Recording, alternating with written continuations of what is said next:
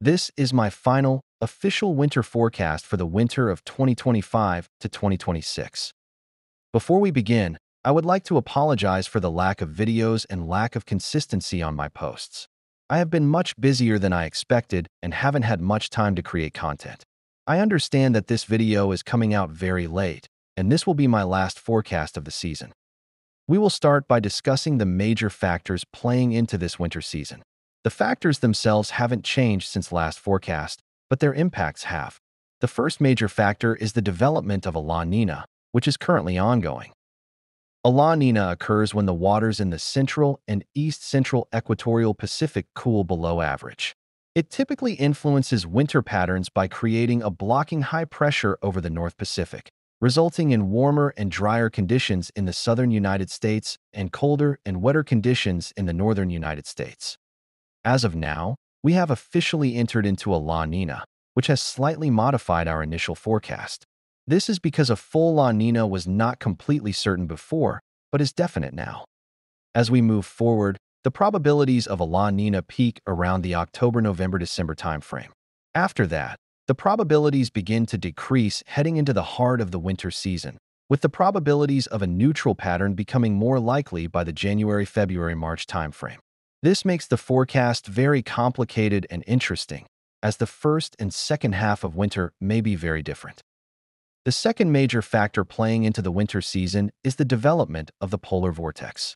Just note that this one hasn't changed much since the last forecast. This is likely to be a major factor once again this year, as La Nina patterns typically bring alongside significant polar vortex appearance and Arctic blasts as a result, and we have the evidence from temperature anomalies of every single La Nina event to conclude this. The polar vortex has a stable phase and an unstable phase. When in a stable phase, cold air is contained in the Arctic Circle and poses no Arctic outbreak threats to the United States. The problems arise when the polar vortex enters an unstable phase, which weakens the jet stream and allows cold air to move southward, allowing waves of this Arctic air to push into the continental United States, resulting in major, and often dangerous, outbreaks of significant cold air. This could be very prevalent this year if the forecast stands. Now it is time for the final edition of my temperature, precipitation, and overall forecast maps. Starting off with the temperature map, this zone is where slightly warmer than average temperatures are expected. This zone covers the southwest and parts of the deep south-central regions. The zone of warmer temperatures hasn't changed much, if anything, since the first forecast, as La Nina tends to deliver a consistently warmer and drier pattern over this region. This next zone is where even warmer than average temperatures are expected. This zone covers the southwest region. Again, this region remains basically unchanged, as La Nina essentially locks in this forecast. Moving on from the warmth, this zone is where slightly colder than average conditions are expected. This zone is large and covers the entire country except for the west coast and deep south-central regions. Unlike a typical La Nina season, the polar vortex will result in widespread cold across the eastern half of the country, even in southern areas which are typically warmer and drier. This next zone is where even colder than average temperatures are expected. This zone covers the northwest, north-central, Ohio Valley, and northeast regions. The Arctic air outbreaks resulting from the polar vortex will be more impactful in these areas, mainly because they are further north. Lastly, this zone is where the coldest below average temperatures are expected.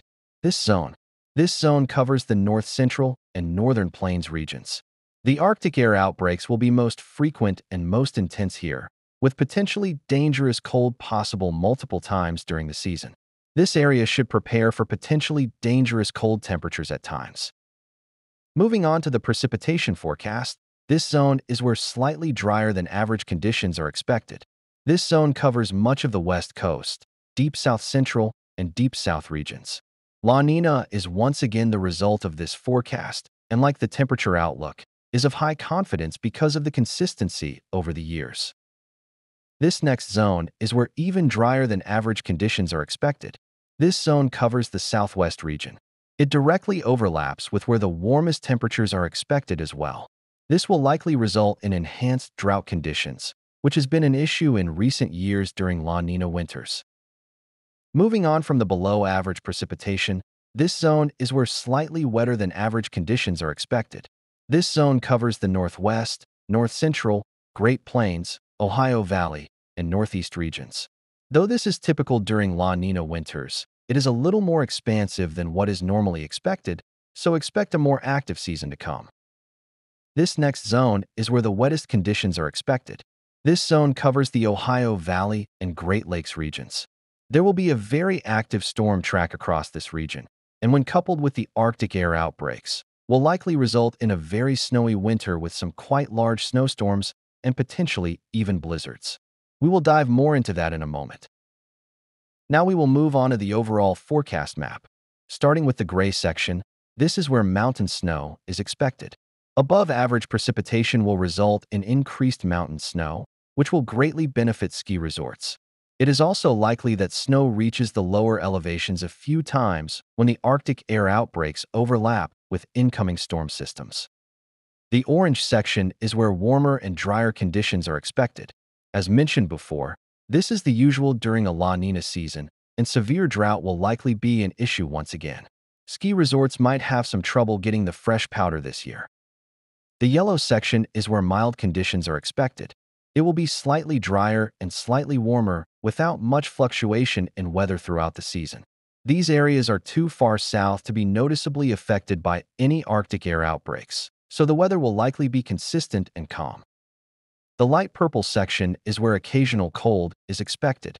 This area is very similar to the previous one, but has more room for fluctuation in temperature as the Arctic air outbreaks can reach and affect these areas. Many of you may not believe in forecasts after last year's historic snow event, but I will confidently say that that will not be happening again this year. In the black section, average conditions are expected. This area is in the spot between the divides where things will be just around what you would typically expect. However, this does not mean that you won't be exposed to fluctuations in temperature and storm minus, as there will likely be a few times where you will be exposed to significant changes. In the pink section, a battle zone is expected. This is where storm systems will overlap with cold air, but not always cold enough for all snow. All precipitation hazards, that being rain, snow, freezing rain, and sleet, should be expected here. The unpredictability and uncertainty of what each different storm system will bring will result in often dangerous and disruptive conditions at times. In the light blue section, cold and snowy conditions are expected. The combination of cold air and an active storm track will result in increased snow and mostly all snow for the majority of the winter season.